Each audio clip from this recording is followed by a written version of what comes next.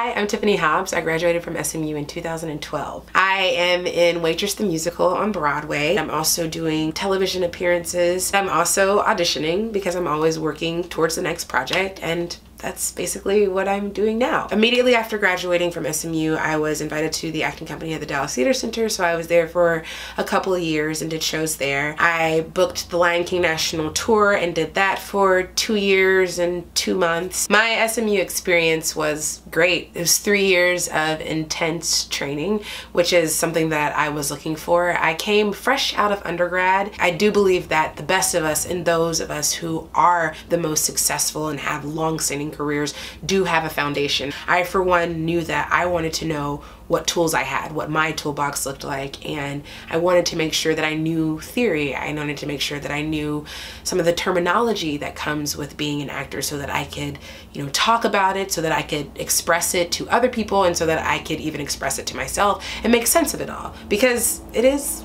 in my opinion, it's like a science. And if you don't really know what it is that you're doing or what tools you're using to do the thing, then how can you expect to become a master? And I've always wanted to be a master at my craft. I think one of my biggest takeaways from the program is to never stop growing, never stop learning. I consider myself a student of life now. There's never a time where the learning should stop. I still take classes. I just make sure that it's not always the work that I'm assigned to, but the work that I assign to myself. And I think that that's the thing that has made me as productive and successful in my career so far. So my biggest piece of advice for students, I say, you know, take your studies seriously.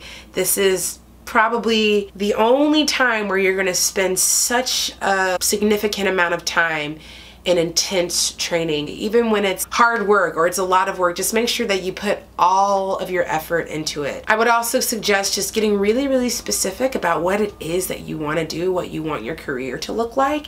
And then after that, deciding what sort of steps you might need to make in order to make those things happen. Have fun, take good notes, keep your notes. The more specific you are about your work, the better you're going to be when it comes to auditions. I'm always very specific about my auditions and no, I don't don't book everything that I go out for, but I do know that the reason why I book the things that I do is because I am very specific about my work. I know where I am, I know who I am, I know what I want, I know how I'm gonna get what I want. I also know how my character's story fits into the trajectory of the entire story. And also that way, you know, if I don't get it, I know that I did my best work. As long as you are really serious about your work, here in grad school and you continue that work on thereafter, you will have little to no regrets when it comes to your work and it'll be more fun. I still have fun when I do all of my auditions because sometimes it feels like I'm back in grad school again, like I'm just doing the work and I love to do the work. So enjoy it, hold on to it, cherish it, and have fun.